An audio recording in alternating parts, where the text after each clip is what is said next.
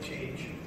And in October to December, because the new borrowings that you are doing is at a higher cost, and the proportion with every passing quarter of the new borrowings will increase. So we did estimate that it may go up by another 25-30 basis points in Q4.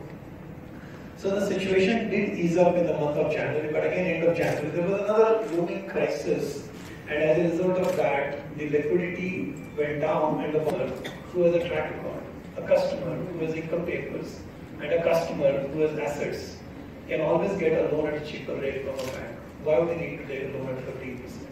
Bank can give a loan easily at about 11 to 12% to the formal banking credit. It doesn't mean that the balance 75% doesn't have a credit needs. They do have a credit needs. And the problem there is twofold. One, you should have a permanent residence. We won't finance a customer if he's living in a house which he has either rented or bought only six months back.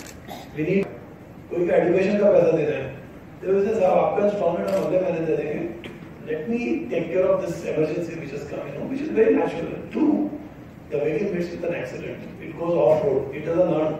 It doesn't have any other source of income. They will not be able to pay.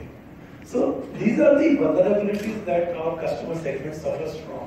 So you can't have a cut and dry approach or a relationship with these customers. You need to have a very strong connect with the customer. Where I want two things. This is what I have learned 31 years.